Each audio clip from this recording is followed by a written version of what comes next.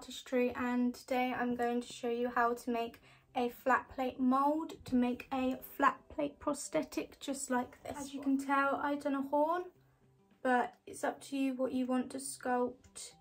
do anything like cuts or using objects to sculpt with or cheekbones. It's completely down to you as long as it's going on a surface of your skin that is flat like a cheek or a forehead. So let's get started.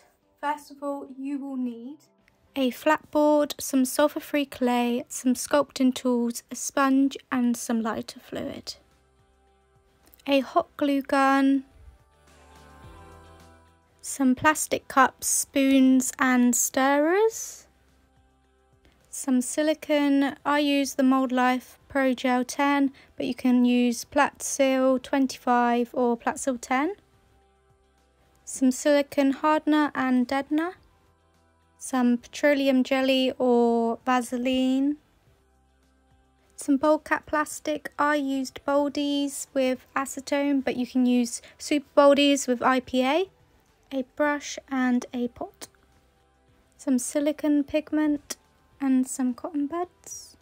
First part is to sculpt whatever you want your prosthetic to look like. So I'm doing a horn, which I softened the clay up and made it into little sausages, which is easier to sculpt with.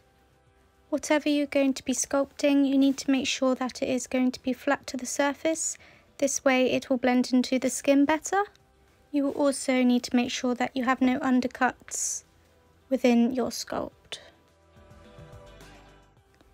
Here I am just using a tool to make sure that it is flat to the surface and soft and I'm using lighter fluid and adding texture to my sculpt. Once you have finished your sculpt and you're happy with how it looks, you need to add a wedging. Uh, this is what I am doing here, ensuring you have enough space around the sculpt for your edges. The wedging is the excess material of the silicone and this is what it should look like. Next you need to create a wall which I used a plastic cup but you could even use foam board. I used a hot glue gun to stick down my cup as a wall and then went around the edges to ensure that the silicone won't leak out. You also need to make sure if you're using anything else like foam board that it's waterproof then leave it to dry. This next part is the silicone negative mould. I labelled my cups A, B and H to ensure they don't get muddled up and then I started weighing out my parts. A and B need to be exactly the same weight. The hardener can be anything up to A and B together so if A was 10 grams and B was 10 grams then the hardener can be up to 20 grams.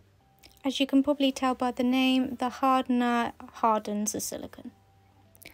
I added some blue pigment and then added part A and part B to the hardener and gave it a good mix. Once my silicone is thoroughly mixed together, I poured it from height over my sculpt. This avoids any air bubbles. Then let it cure for around an hour.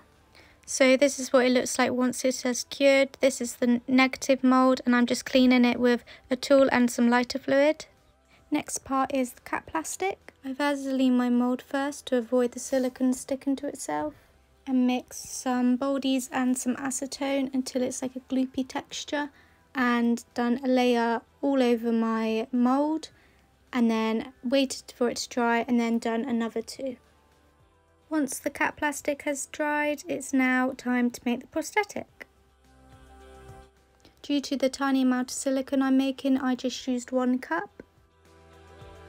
Using the same technique as the mould, mixing part A and part B as equal parts and then the hardener. I only used hardener because I wanted the wedging to be hard and the actual horn. I then did the exact same process, but this time I used deadener instead of hardener to make more of a skin-like texture for where it's going to blend into the skin. I also used this silicone pigment, which is like a flesh tone colour. Then scraped the excess and cleaned up the edges with the cotton bud. I left it to cure for around an hour and then it was time to powder it and remove it from its mould. For this I just used a translucent powder and a fluffy brush. And this is what it looks like. You can colour it with IPA and a Skin Illustrator palette and apply it to your skin using Pros-Aide and acetone to blend out the edges. And this is the finished piece. Thank you for watching and I'll see you next time.